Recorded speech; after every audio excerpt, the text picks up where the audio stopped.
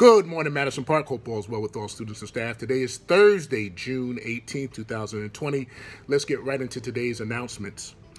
The answer to yesterday's trivia question, what is the meaning of the Massachusetts state flag? Well, the white on the flag denotes a field with an image of a Native American by the name of Massachusetts, which is emblazoned in blue on the flag.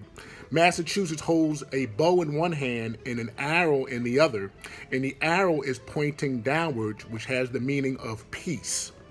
And the white star that is also on the flag denotes Massachusetts as one of the original 13 colonies.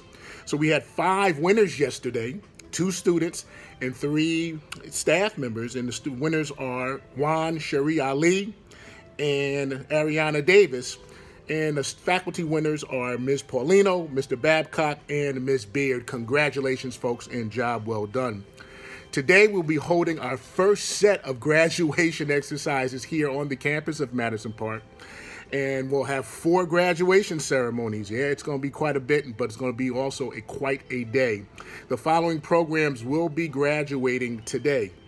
Auto collision, carpentry, facilities management, auto technology, metal fabrication, electrical, plumbing, cosmetology, and culinary arts. We are looking forward to an outstanding time during the graduation exercises.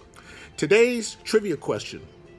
Massachusetts is the only state in the United States that celebrates Patriots Day. What is Patriots Day? Once again, Massachusetts is the only state to celebrate Patriots Day.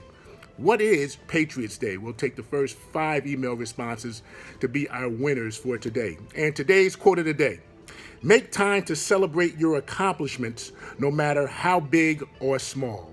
Madison Park, have a wonderful day.